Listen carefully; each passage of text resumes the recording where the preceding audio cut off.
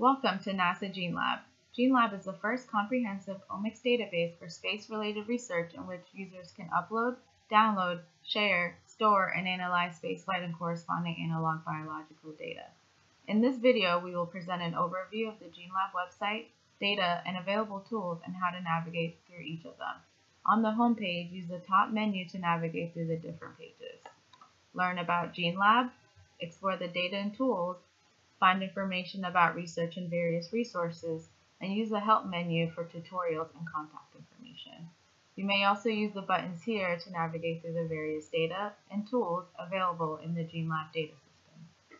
Scroll down to read about the latest data releases, latest news, spotlight stories, NASA research opportunities, and current publications. Let's now explore the GeneLab data system.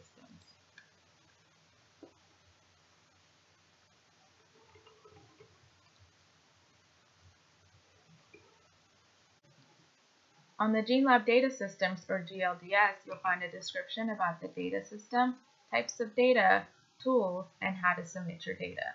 Use the top menu to navigate through the different spaces. The data repository hosts all the public spaceflight and space-related datasets in the GeneLab database.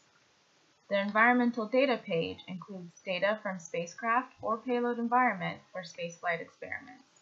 Currently, you'll find radiation dosimetry data that is available for spaceflight datasets.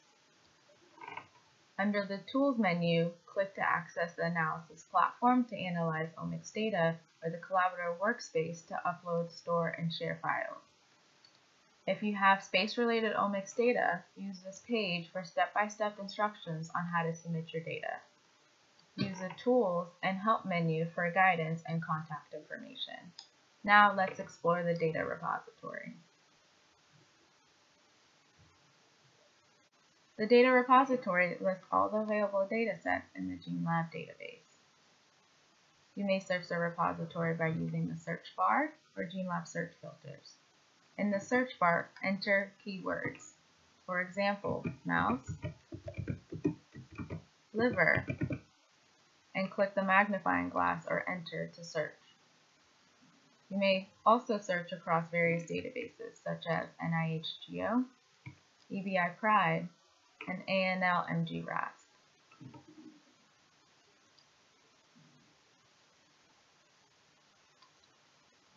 To search using the filters, clear your previous search and only have GeneLab checked. Use the filters to search through the different fields.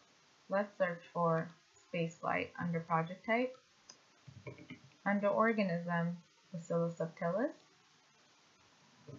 and assay type transcription profiling. Once you found the data set of interest, click the title to access the metadata and the data files. Use the tab menu to navigate through the metadata. Under Description, you will find an overview of the investigation, mission details, and contact information. All the protocols are listed and described here. The Samples and Assay tabs provide sample and assay level information about the experiment.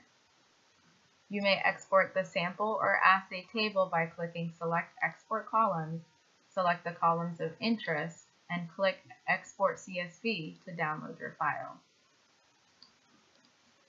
You may also use the filter icon to sort and filter through the columns and rows. If available, the associated publications are linked here. Under Study Files, all the available data files are listed here. To download the data file, select the folder of interest and click on the data file name. Now let's head to Tools and log into the Collaborative Workspace. To access the tools, you'll need to create a Google account or use a current Google ID. Once you've created a Google ID, click on Sign in with Google and enter your username and password. For users with NASA credentials, please log in using the NASA Launchpad Authenticate button and enter your credentials. Both tools use the same account information. Let's log in. The workspace provides users a platform to upload, store, and share files. The left directory panel provides an overview of all the directories and files. Your private directory is listed first, displayed as your username. Your shared directory includes folders and files shared with you by your collaborators, displayed with shared to and your username. The public directory contains all the studies in the public GeneLab repository. Let's go through each directory. Click into your private directory. To upload files, create a subdirectory. This is done by either using the menu above or right-clicking for the menu. For this example, we will right-click and select Create Subdirectory in the menu. Type in your folder name and click Create. Navigate to the folder and upload your files by dragging and dropping from your local computer. A status of your upload will be provided in the bottom left corner. Once your upload has completed, use the top menu or right-click to see the menu with all the functions that can be performed. For example, you may want to share this file with your collaborator. To share, click Sharing in the menu, Edit Sharing, enter the username, then grant permissions. To see files shared with you, click into your shared directory.